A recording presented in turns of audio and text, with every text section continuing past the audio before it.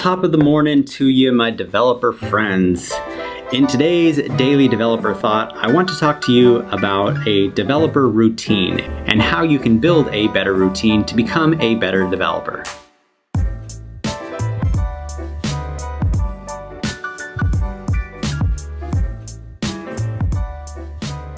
First things first, once I wake up in the morning, I like to go for a quick run. Uh, I will then go for a run and I get back home, get all showered up, and I'm ready for the day to start.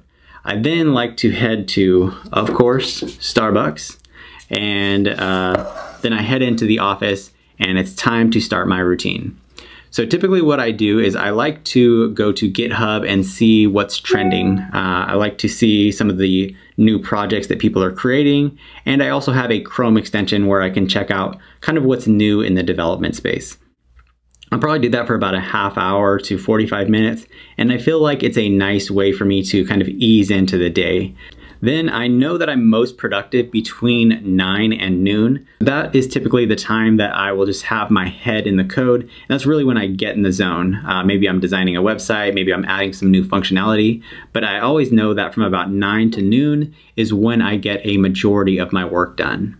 Then it's on to lunch. And I'll typically do, you know, your average lunch from about noon to one. Uh, it might be a little bit later or a little bit earlier. But I have a place that's across the street and they have some really healthy meals and they're really good too.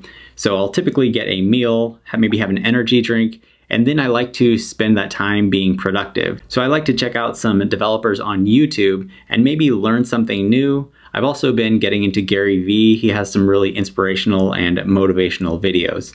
So I'll typically eat my lunch, watch some YouTube stuff, and then maybe check out some more developer stories. Then it's on to the second half of my day where I get a majority of my work done. And that typically happens between one and three or one in four. So I know again that this is a time when I really just get in the zone and start adding some really good functionality or designs to my applications. Finally, when the day is wrapping up, I would say around 4ish to 4.30, uh, probably head home and spend a little bit of time with the family, eat a little bit of food, and then in the evening, I am still constantly working on a side project or hacking away on some kind of project.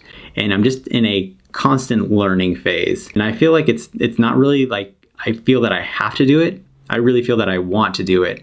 Uh, it's something that has become a passion of mine, and it's just something that I've built into my routine. So I would encourage you to build a strong routine into your day, into your week, and I'll kind of base it around becoming a better developer or learning more about things in the development space. I hope you guys have an amazing day and I'm gonna check out what's trending on GitHub. So I will talk to you guys tomorrow.